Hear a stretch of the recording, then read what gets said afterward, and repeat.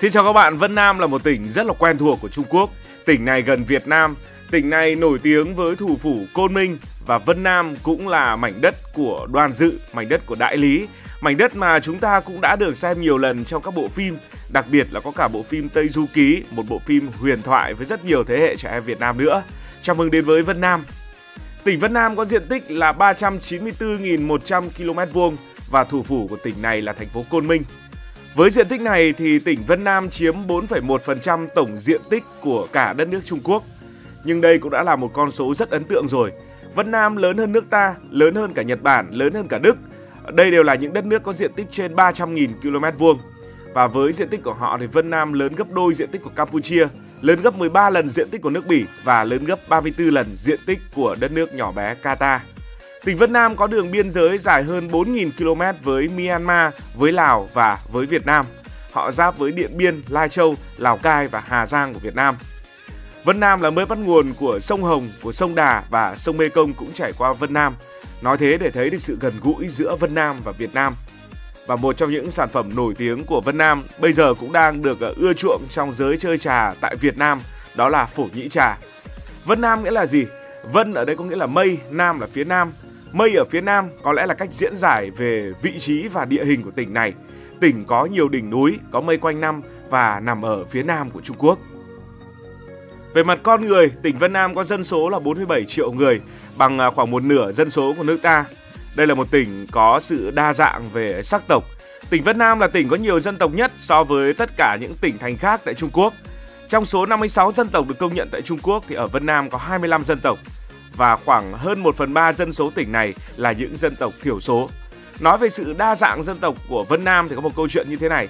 Có những yếu tố ở tỉnh Vân Nam nhưng lại gần gũi và cảm giác như rất quen thuộc với những nơi khác.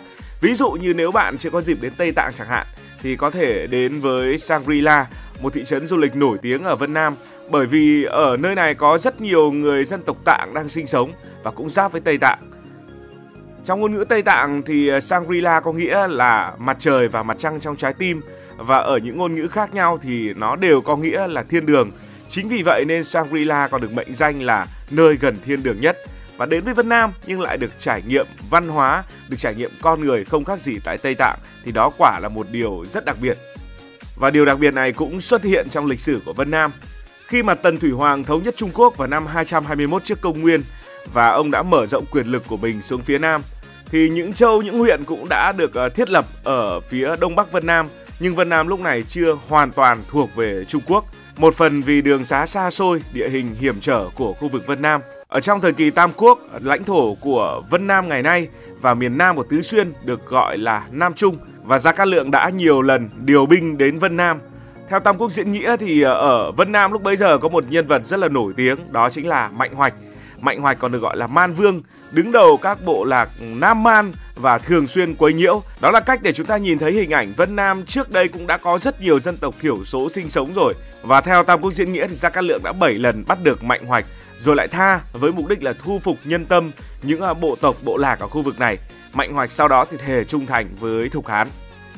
Hay là Vương quốc Đại Lý là một vương quốc cũng rất nổi tiếng đã từng tồn tại tại Vân Nam từ thế kỷ thứ 10 cho đến thế kỷ thứ 13.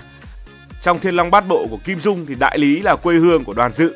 Theo đó thì đây là một quốc gia theo Phật giáo và từ vua cho đến dân đều sùng đạo. Vua thường tại vị một thời gian rồi lại xuất gia đi làm sư. Và trên thực tế thì thành cổ Đại Lý đến bây giờ vẫn đang tồn tại tại Vân Nam, là một trong những địa điểm du lịch nổi tiếng nhất của Vân Nam. Nơi đây có nhiều di tích lịch sử, nhiều tòa nhà, nhiều đền miếu cổ và nhiều sản phẩm thủ công địa phương rất đặc sắc. Chúng ta sẽ tìm hiểu về thành cổ Đại Lý ở phần sau của video này. Đại Lý là quá khứ còn hiện tại là Côn Minh. Côn Minh chính là thủ phủ của Vân Nam và thành phố này còn được gọi là Xuân Thành, tức là thành phố của mùa xuân. Thành phố này ở độ cao trung bình là gần 2.000m so với mực nước biển một thành phố có 2.400 năm lịch sử, là trung tâm văn hóa, kinh tế và giao thông của Vân Nam. Vào thế kỷ 13, nhà thám hiểm nổi tiếng Marco Polo đã đến đây và đã viết về vùng đất này trong cuốn nhật ký của mình.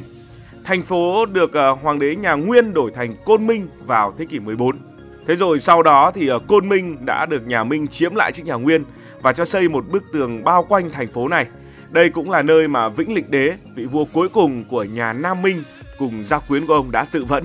Và có một điều cực kỳ thú vị khi đến với Vân Nam, đó là Vân Nam được ờ, nối tuyến đường sắt đầu tiên không phải là với phần còn lại của Trung Quốc, với những tỉnh khác của Trung Quốc, mà là tuyến đường sắt nối với cảng Hải Phòng của Việt Nam ta bằng đường sắt khổ hẹp 1,1 m do Pháp xây dựng và hoàn thành vào năm 1910. Sau đó thì phải mất đến nửa thế kỷ thì ờ, Vân Nam mới được nối với phần còn lại của Trung Quốc bằng các tuyến đường sắt khi ờ, thông tuyến thành đô Côn Minh. Vân Nam hiện nay có 13 sân bay và thêm một vài sân bay nữa đang được xây dựng. Đây là một trong những địa phương có nhiều sân bay nhất tại Trung Quốc và từ Vân Nam có đường bay thẳng đi Việt Nam. Đến Vân Nam thì chơi gì? Đầu tiên hãy nói về thành cổ Đại Lý. Thành ờ, cổ Đại Lý chính là thủ phủ của châu tự trị dân tộc Bạch Đại Lý. Thành cổ này thì có diện tích khoảng 1,5 km vuông và có lịch sử lâu đời. Có nhiều công trình kiến trúc đặc sắc còn bảo tồn tốt cho đến tận ngày nay. À, thành cổ Đại Lý thì được xây vào cuối của thế kỷ 14, tường thành cao 7m6, ngang 6m và thành này có chu vi là 12 dặm. Điểm cao nhất để ngắm nhìn được toàn cảnh của thành cổ Đại Lý đó là núi Thương Sơn.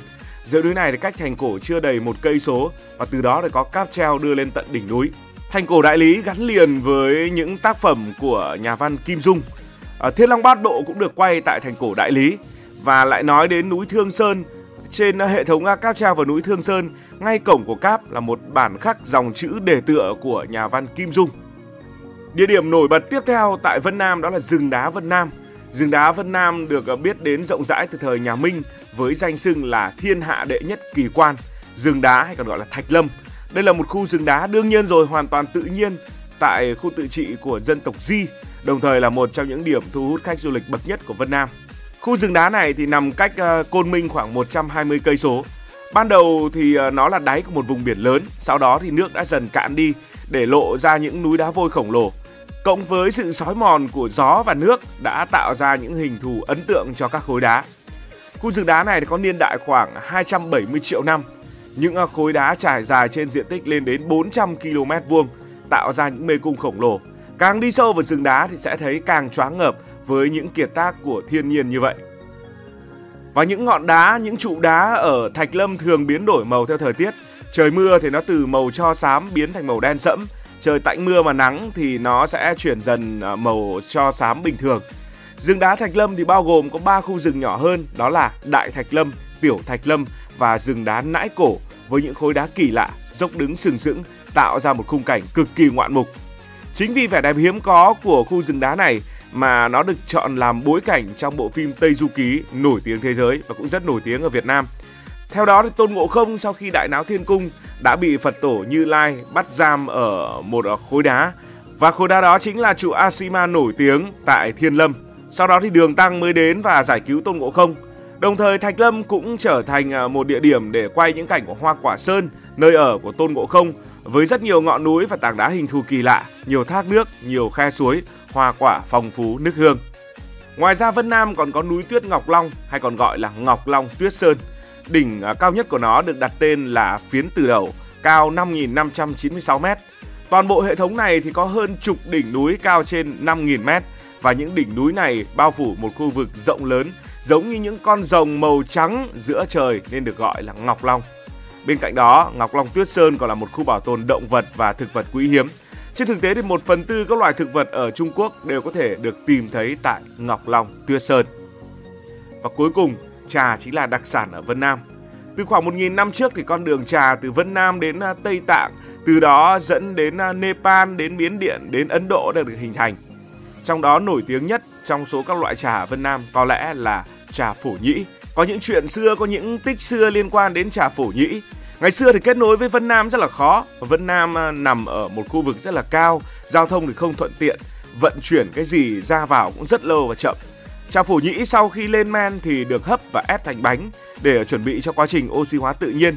Tuy vậy trong quá trình vận chuyển đường dài thì bị những cái yếu tố như là gió, mưa, nắng, nhiệt độ, độ ẩm liên tục thay đổi và khiến lá trà có phản ứng ờ, sinh học cho ra những đặc điểm đặc trưng chỉ có trà phổ nhĩ mới có.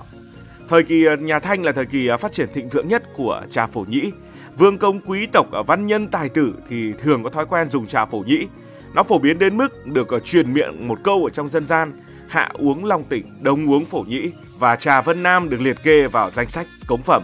Cảm ơn các bạn vì đã quan tâm theo dõi câu chuyện này, câu chuyện về Vân Nam với rất nhiều điều thú vị.